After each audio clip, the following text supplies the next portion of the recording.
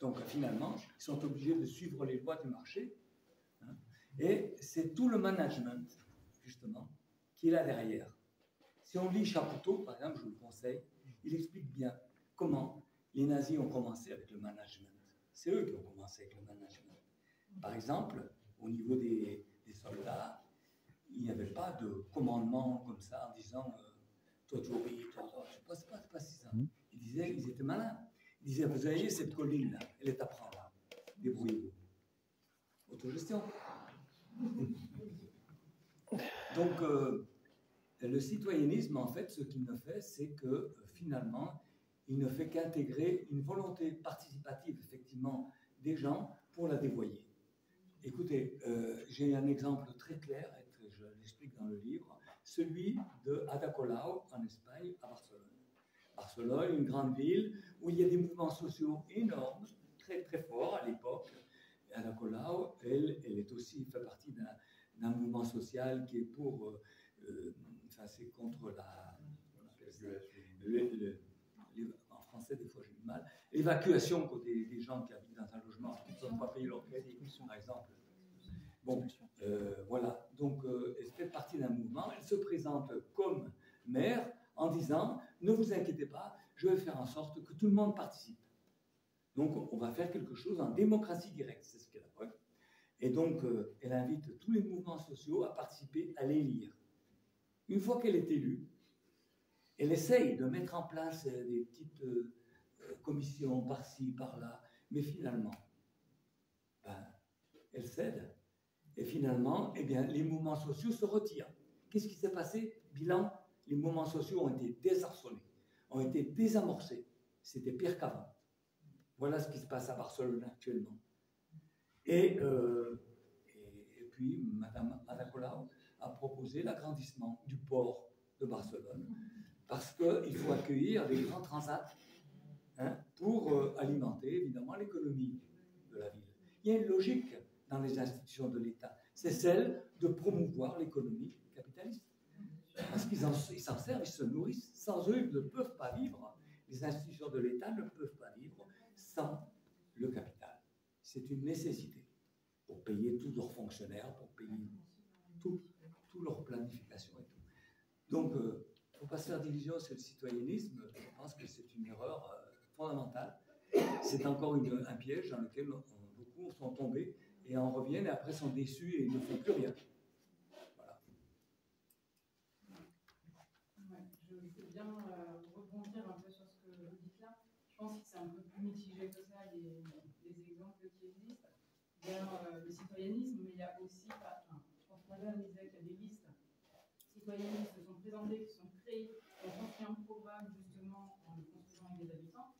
Il y en a qui intègrent quand même de la démarche euh, citoyenne avec du aller vers, avec des formes de tirage au sort pour justement avoir euh, un pool d'habitants qui sont un petit peu plus variés.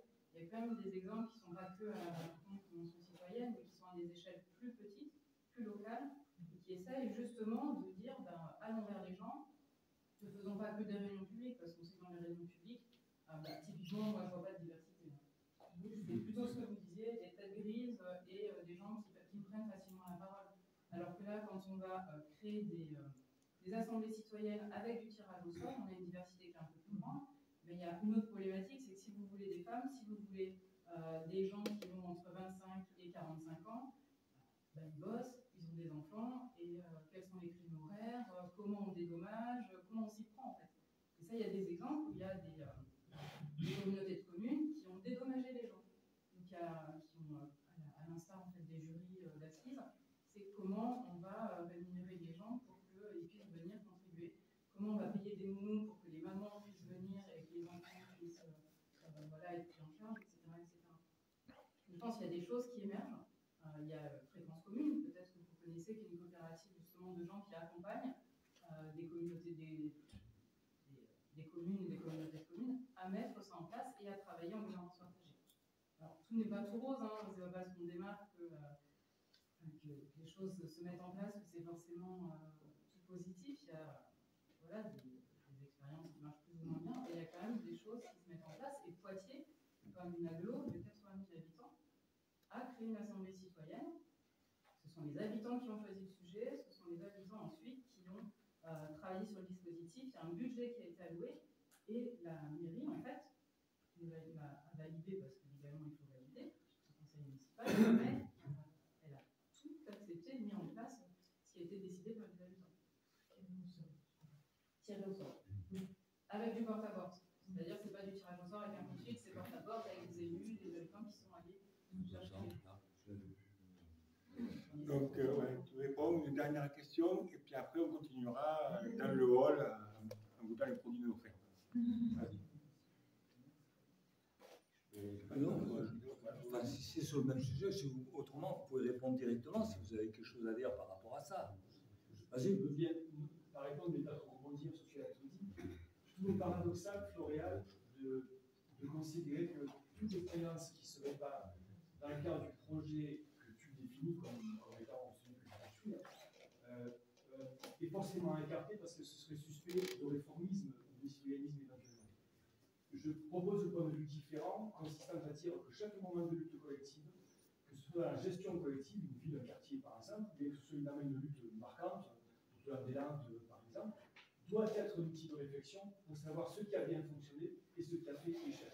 Tu parlais rapidement de Ada Colau, premier raccourci un petit peu avec l'histoire, si je peux me permettre, tu peux aussi considérer que Ada Colau a tiré à un moment donné de sa lutte avec les collectifs anti-expulsion de Barcelone le constat suivant lequel il fallait, pour obtenir des résultats significatifs, passer à un moment donné le possible constat de l'impuissance collective de la lutte. Tout à l'heure, ça a été évoqué euh, rapidement hein, au propos de Paris. Effectivement, il faut tirer la conséquence que de nombreuses luttes collectives se concluent souvent par des échecs cuisants.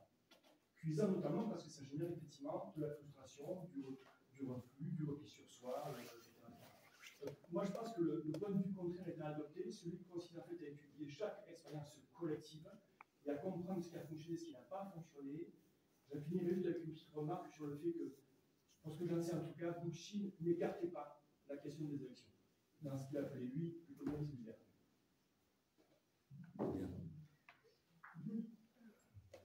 Euh, je réponds? Bon, en fait, euh, Adakola, tu sais, euh, deuxième, euh, la deuxième fois qu'il a été élu, vous savez avec quelle voix il a, elle a réussi à passer? Avec les voix du ministre de l'Intérieur de Sarkozy. Bien. Donc, quand on fait des compromis comme ça, vous voyez les élections que ça mène.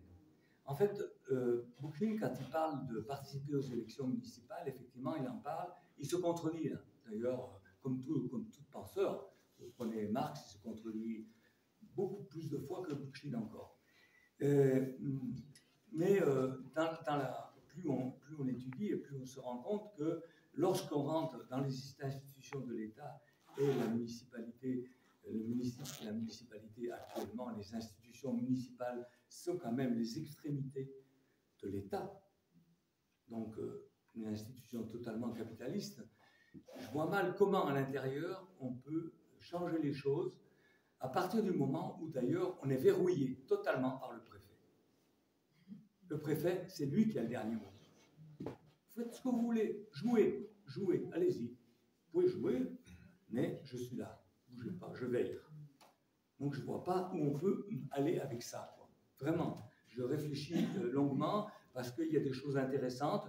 Je ne lis pas tout dans le citoyennisme nous sommes allés faire une rencontre à Raoult où ce sont des listes citoyennes qui ont gagné.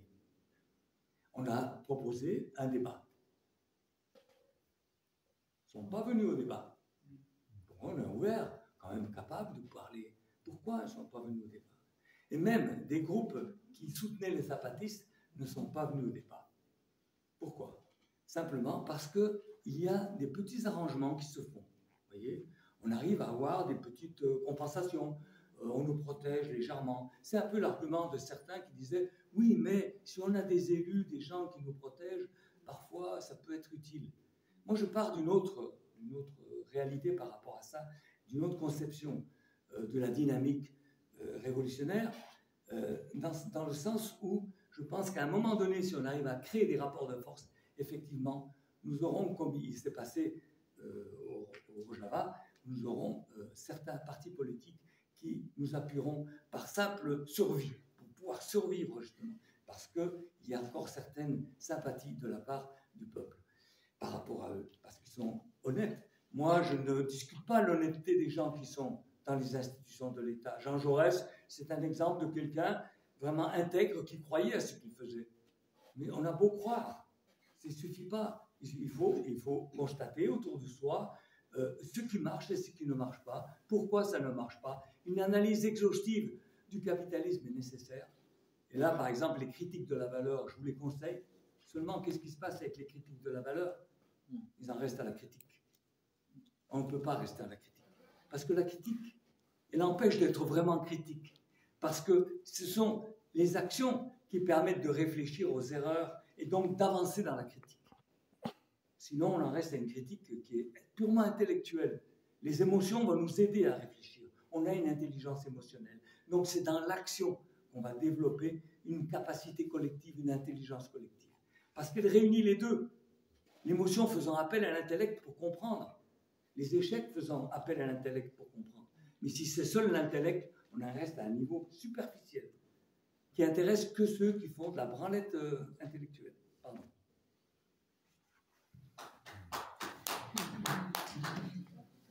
Écoutez, euh, merci pour elle.